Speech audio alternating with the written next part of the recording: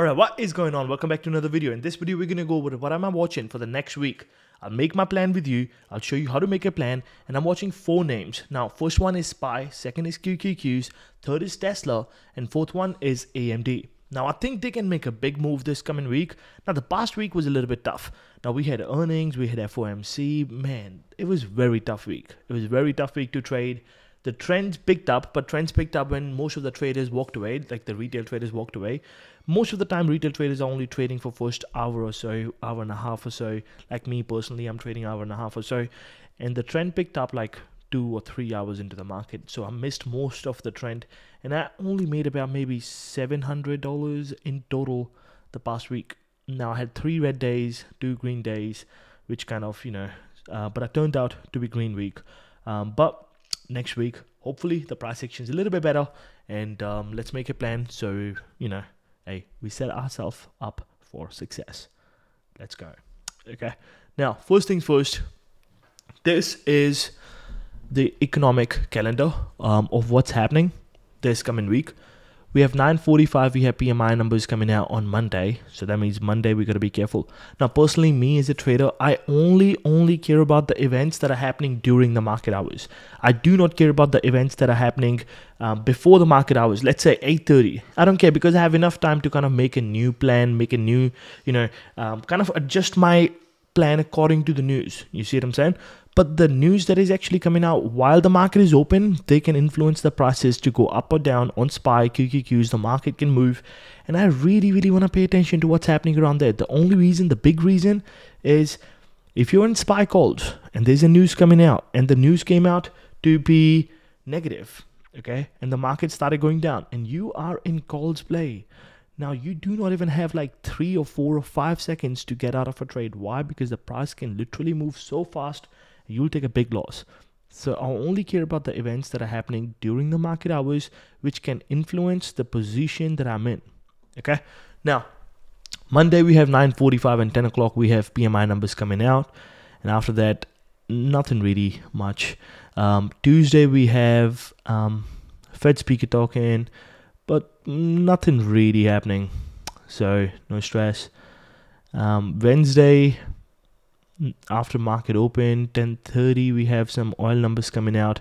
So when oil numbers are coming out you want to really like they can influence the airline sector. Like if you're trading Boeing you want to be careful of this stuff because the oil numbers are very very related. Like they're directly proportional to what can happen on the stock. If the numbers came out negative um the it can you know affect the stock price a little bit. You see what i'm saying? So we have this 1030 that's about it. And then some Fed speakers talking later in the afternoon on Wednesday. So we have Monday, some news. Tuesday, no news. Wednesday, some news. Thursday, we have jobless numbers coming out 8:30, but that's before the market open. And after that, nothing really happening. So everything's chill.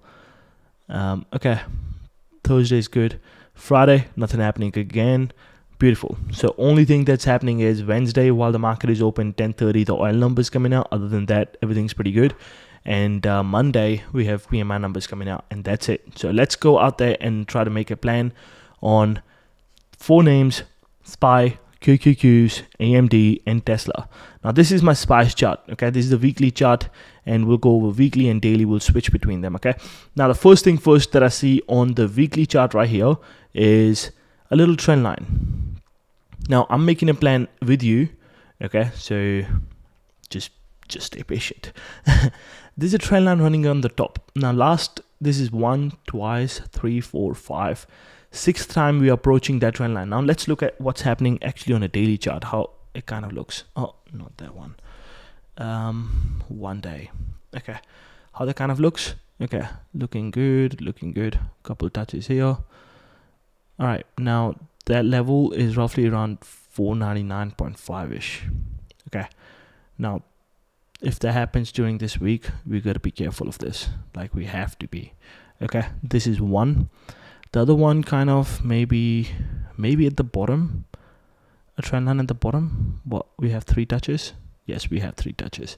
So three touches on a trend line actually makes a trend line for me. Okay, so on the top we have multiple touches. One, two, three, four, five five touches already. There's one, second one is right here.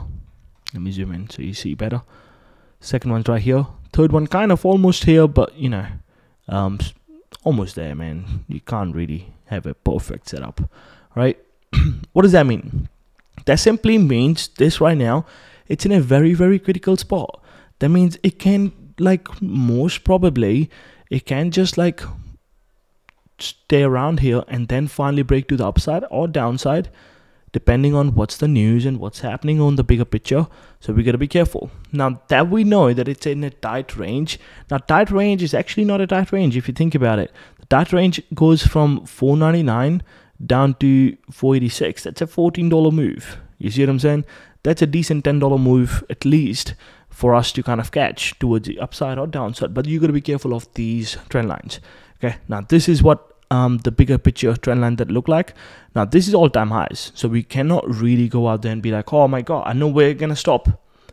But it gives us a good idea if the price breaks this 496.05 ish, all right, 496.05, which is higher, like all time high right now. The next one could be like every one dollar move. Just make it easy for SPY. Every one dollar move, super easy. Okay, so that would be 497 then 498 then you want to pay attention to 499 and then 500 is massive. Like it's massive because of the whole number okay? It's just a big critical level 500 and it's if it's approaching man it's you got to be very very very careful. Only reason is prices can reject heavy okay um, I don't think the first time you're gonna break, you're gonna just break smoothly. Let's go back and look at what happened when the first time we tried to break 400. So the very first time we tried to break 400 was roughly around here. All right, roughly around here. What happened? We were trying to break 400. We were approaching 400, got rejected down to 384, 85, and then one day, next day we gapped up this is a um, we actually gapped up above 400 look at this and it pushed makes sense. And next time we will you know 400 being a critical level let's see where the 400 level lies. 400 a lot of price action kind of almost hugging it. Sometimes breaking towards the upside breaking towards downside stuff like that. So first time when it's approaching 500 even bigger level than 400 just 500 such a huge level you got to be careful. Every one dollar move to the upside we are watching, but towards the downside. Now we have some data towards the downside. We don't have enough data towards the upside, but we have some stuff for the downside. Let's look at what's happening. The first thing first, man, I will make this a level. The reason is simple. Prices came up there, got rejected. Next, again, rejected. Finally, broke above. Nope, couldn't hold. And then finally, it actually on Friday literally went past. So this is a critical level, 488 or 489, let's say, for argument's sake, okay, 490, 489. Um, below that, roughly around, maybe roughly around here. The reason is, look at this, got rejected again, finally broke above, it kind of opened, gapped up, came back, this way found a new support because the previous resistance, again, so this is a critical level, 45. Now, if it breaks below 45 or 49, it can head towards this trend line. If a trend line breaks, man, I'll be looking for like maybe a retest of a trend line and then shoot towards the downside, like stuff like this. Now, there has to be news for this. This is very bullish. Market's in an uptrend as long as it's an uptrend. So we gotta trade the upside as long as it's an uptrend. See what I'm saying? So this level and then next one would be roughly around here. The reason is uh, prices had a little hard time breaking this but um, like on this day couldn't break. Next day gapped up and stayed made this as a new resistance again. So that would be the next level. But upside we have decent levels. Towards the downside i'll be paying attention. This is kind of a level as well because a couple days we um, you know that was a resistance. It could become a new support and prices can shoot up. All right? That's what i'm watching on spy now let's look at QQQs. All right, so for QQQs, I'll be paying attention to, again, same stuff. There's a trend line forming on the weekly chart. Let's look at the weekly chart if we can find a decent trend line. If on SPY it's forming a trend line, um, let's see if there's actually a trend line forming here as well. Okay, that's one. Not really too far away. That's two, too far away. But let's look at the daily for a minute. Now we're the daily. Um, can we adjust this a little bit? Okay, that's a little bit too far out. It's too far out. It's 430, 460. So there's no point of having us having that um, in our charts right now. Um, the one that I see recently from last October ish could be maybe this. Boom. All right, look at this. We found a trend line. First touch here, second, third, fourth, fifth, five touches already on this. See if we get a little downside as well. For the downside, oh yeah, nice. One, two, three, four, five, six. I'm a little bit further away, but let's say six touches. Now again, similar setup like QQQs, right? Um, like Spy, but Spy is actually making a new highs. If you look at Spy, Spy is actually making a new highs right now, but QQQs is not able to make new highs. So what does that tell us? That means that the tech sector in general is a little bit slow. All right, now we know. But this 430 being a 430 level, we gotta, you know, watch that 430.24 being the high. Let's watch 430.24. Okay, it's just all time highs right now. The high of this candle was 430.24. Uh, 430.24.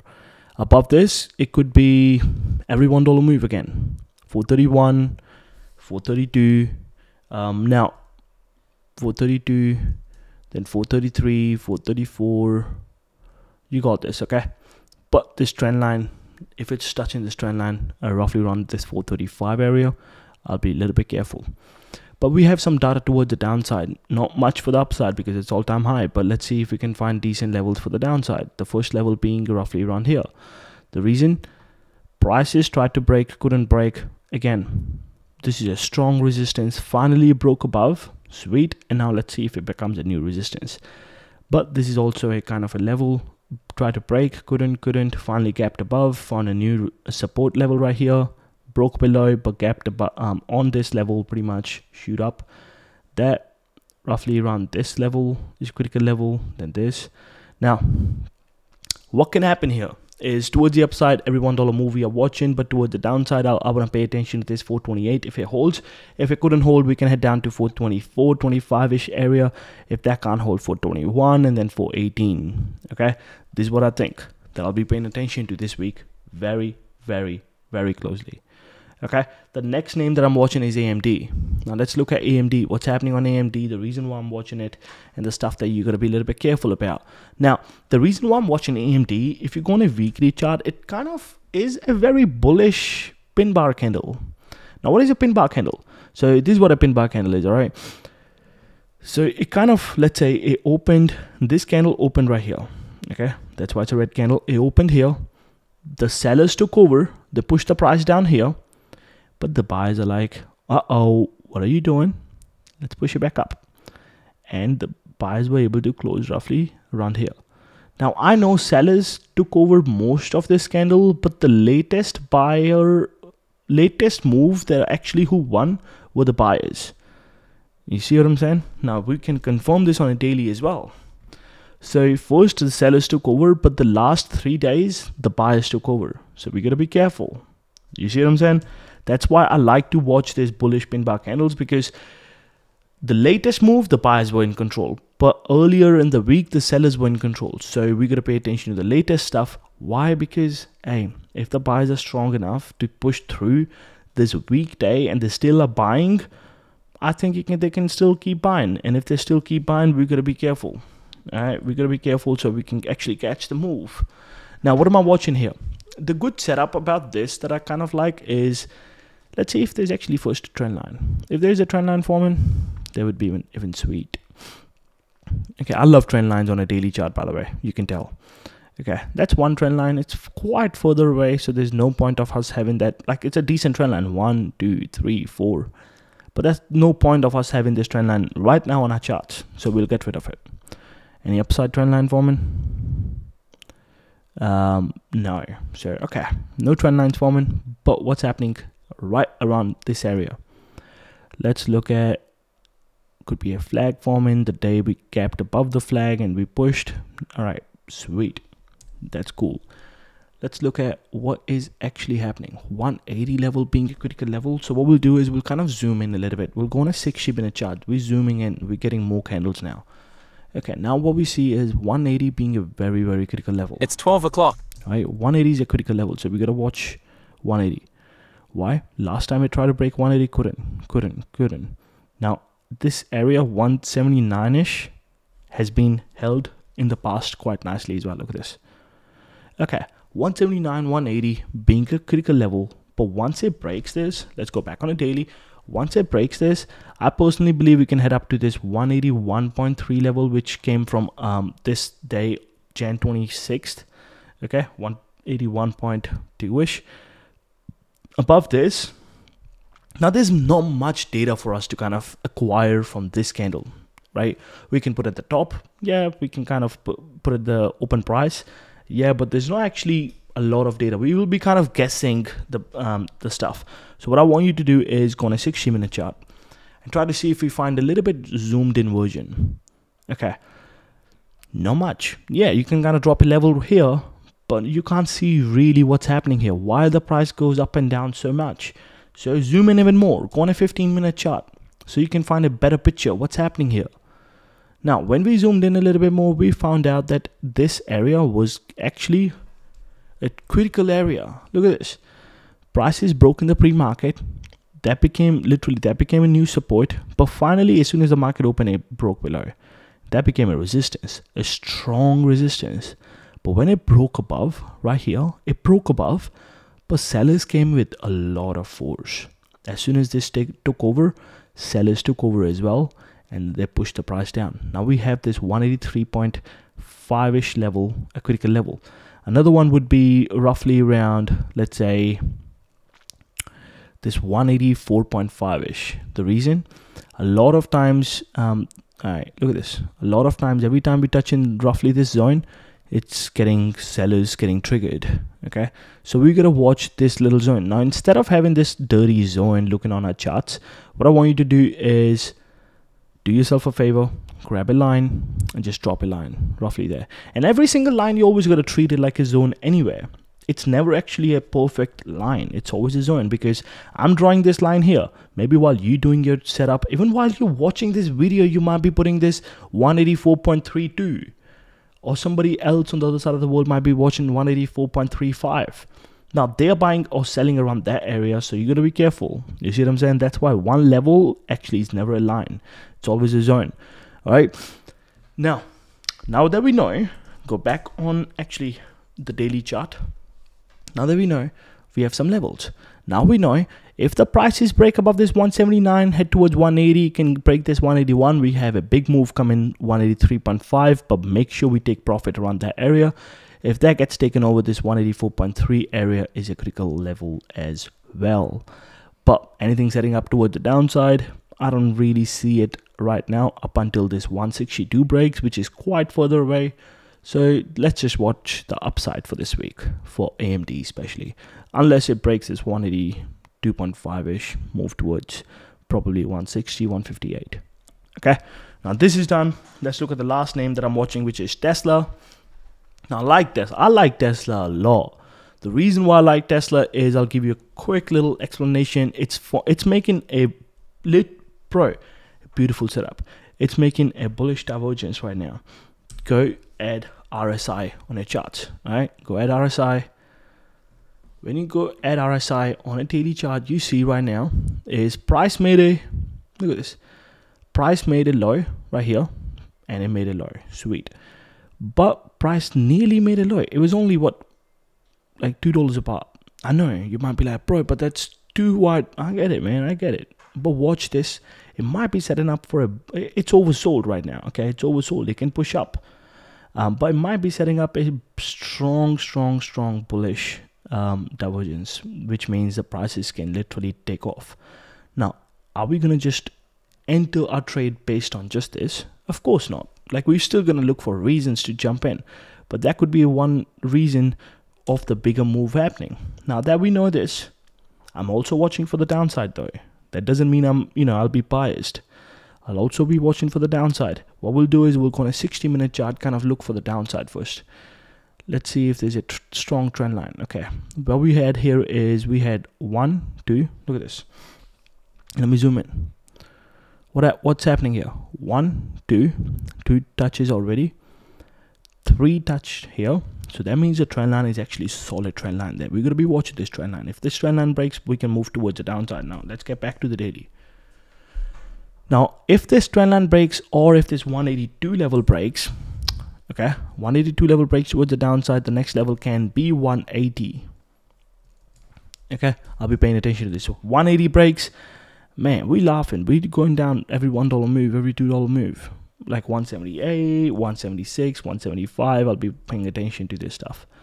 You see what i'm saying? 175 just 175 is a little little i like the number. Okay? Now this is done. Now what about the upside though? Is any setup setting up for the upside yeah. But before that let me show you the weekly chart so we kind of are not biased at all. This is a bearish pin bar. What's happening here? So this particular candle looks like this. Okay yeah? But upper wick is way longer than the lower one. What's happening here is basically so it's a green candle. That means it opened here. It went down a little bit. Bias took over they push the price all the way to the high, but then the sellers are like, uh oh, what are you doing? Push down. It closed like this. The v the weekly candle closed like this. Now, of course, the buyers had the most control, but the latest control that we had was of the sellers. Okay, now if sellers are like, uh oh, we want to push the price even down, it can happen. You see what I'm saying? Like, look at this. Now, what do we want to see here? If your 182 breaks, 180, 178, 176, 175 can happen. But towards the upside, I will pay attention to probably above this 190 area. 190 breaks towards the upside. Um, we are probably looking at now. I can't really find a level, so let's go on a 60 minute chart. Try to look for an actual level. Maybe I'll be looking at this 194 ish. Now 194 is quite far. Yeah, that's a four dollar move. So let's zoom in a little bit more. What's happening roughly here if we can find a better level, which is 15 minutes. Now in a 15 minute, what we see here is roughly around this. Prices has been getting rejected a lot. Look at this. It came up here, even zoom out a little bit, came up here, got rejected, found a new support right here. Then again, resistance, resistance, resistance, broke above, but sellers took over again resistance resistance. Uh, 191.5 is a critical level. Then after that let's go back on a maybe uh, maybe actually around here. Hey look at this. Such a strong level. 192.4 now look at this. If we were not actually on a 15 minute chart we will never be able to find these levels. So very very critical. You see what i'm saying? I know this video has gone long but i just want to give so much value in this video man. So you actually know next time how to actually make the levels you see what I'm saying? All right. this is the stuff I'll be watching for the upside. This stuff I'll be watching for the downside. Now, I do, a, I do apologize. This I didn't plan to make this video 20, 25 minute long, but I hope you got some value out of this. Um, if you do, make sure you subscribe to the channel. Let me know in the comments down below which one is your favorite setup. And hey, good fucking luck for the next week. Let's go. Let's make some money. Peace.